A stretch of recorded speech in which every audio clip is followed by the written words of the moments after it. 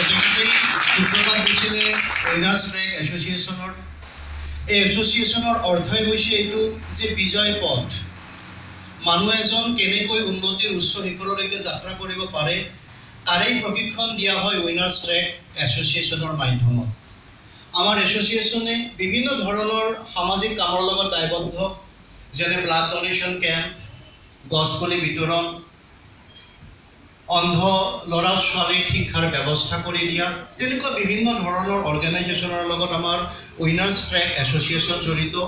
আৰু winners trek এছ'চিয়েশ্যনে মানুহক অৰ্থনৈতিক দিশখনত অধিক মজবুত কৰাৰ কাৰণে এটা ব্যৱসায়িক ভিত্তিত কাম ষ্টাৰ্ট কৰে, য'ত হয়তো আপোনালোকৰ বহুকেইজন ব্যক্তি এছ'চিয়েট হৈ আছে। নহয়নে বাৰু?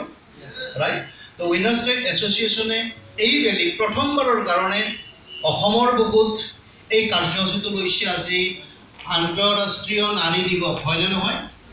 ৰাইট এটা বহুত মূল্যৱান দিন আজিৰ এই দিনটো। ঊনৈছশ আঠ চনত নিউয়ৰ্কত আৰম্ভ হৈছিল এই নাৰী দিৱসৰ। তাত প্ৰায় পোন্ধৰ হেজাৰ কৰ্মী নাৰীয়ে বিৰোধ কৰিছিলে যে তেওঁলোকে কামটো ঠিকেই কৰে